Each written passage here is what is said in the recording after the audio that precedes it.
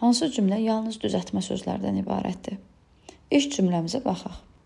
Yazıçının sözünü təhlil elədiyimiz zaman yazmaq feilindən yazı ismi yaradırıq, yazıçı ismi yaradırıq. Demək, leksik şəkilçilərimiz, iki leksik şəkilçimiz var. Düzəltmə söz sayılır. Oxucular sözünü sözün kökü oxumaq sözüdür. Cu leksik lar ı, qrammatik şəkilçi. Cəsarətlə sözündə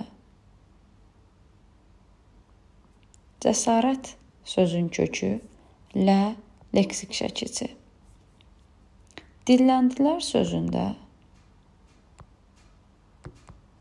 sözün kökü dil, dillənmək, dilər.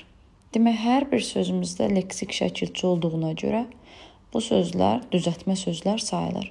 Elə doğru cavabımız iş cümləmiz olur.